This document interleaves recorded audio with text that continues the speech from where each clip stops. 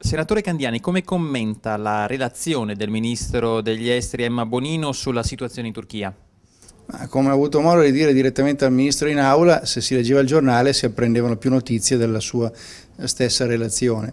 In effetti è stata una relazione assolutamente eh, insoddisfacente e questo ovviamente ci ha molto stupito, visto anche l'enfasi che poi la Ministra stessa ha messo anche sui giornali nel descrivere la sua azione nei confronti della Turchia.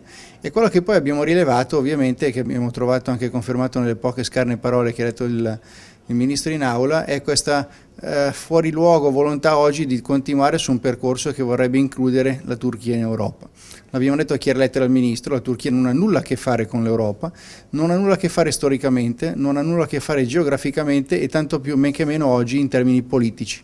Quando ci troviamo di fronte a una, eh, un regurgito eh, assolutamente autoritario che nulla ha a che fare con un paese occidentale, ma che invece riporta proprio a una democrazia incompiuta che in questo caso ha nell'esercito e nel fondamentalismo musulmano le proprie origini. Che cosa chiede quindi la Lega Nord al nostro paese e all'Europa sulla situazione in Turchia? Ma certamente di essere chiari e di prendere atto di una realtà che non può essere ovviamente eh, taciuta, quella che la Turchia non è un paese europeo, quello che i rapporti commerciali con la Turchia se ne possono tenere senza problemi, come se ne tengono anche con altri paesi molto lontani dall'estremo oriente, piuttosto che con l'America stessa.